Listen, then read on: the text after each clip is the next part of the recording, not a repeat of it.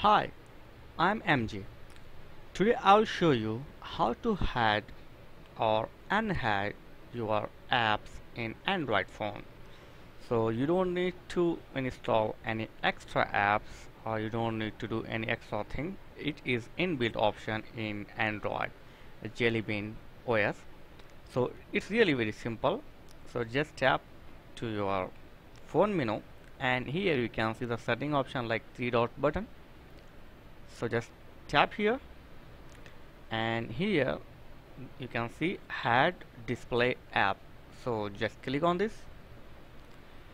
And here you can see the umbrella mark on the app. So this app actually showing on my phone desktop. Or if you want to add any apps I will show you. Okay. So I want to get back the Opera Mini as you can see here. So just tap on this look at this. It's come to bright now and close. Now come to back. Okay. So now you can see the Opera Mini is showing on my desktop or mobile.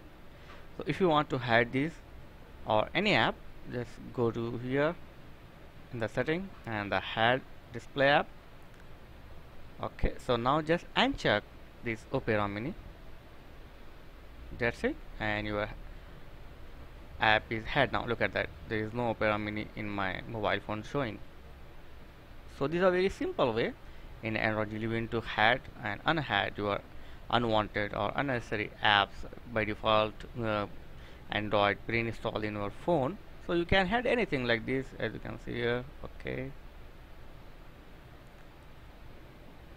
So just tap and untap to hide or unhide any application from your phone so thank for watching. See you next video. Please don't forget to like comments and subscribe. Thank you very much